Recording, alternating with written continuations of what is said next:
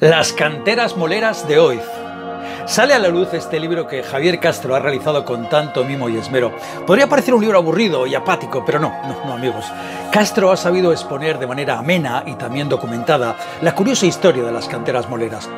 ¿Y, ¿Y, qué son las canteras moleras? Pues son los lugares, mayoritariamente que están en montes, donde los canteros extraían y modelaban las piedras en forma circular para luego rodar y transportar fácilmente. A estas piedras se llamaban muelas, ¿Y por qué muelas? Pues porque generalmente se utilizaban para moler, para los molinos, y de ahí canteras moleras. Pues Castro, con un nutrido grupo de voluntarios, entre ellos Iñaki García Uribe y un servidor, han dedicado innumerables jornadas eh, de trabajo para recorrer diferentes parajes desde hace ya unos cuantos años. La zona del Gorbea, bien conocida por Iñaki García Uribe, ha sido el campo de acción de estos dos miembros de la Sociedad Etnográfica Aranzadi, que con el nombre de Rotarri han llamado a este proyecto.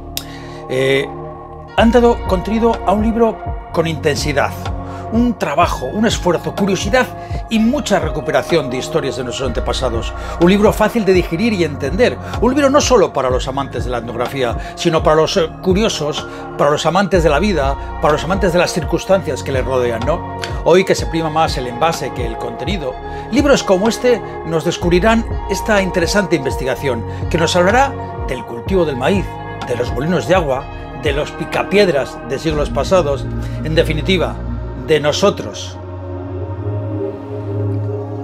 Las canteras moleras de hoy.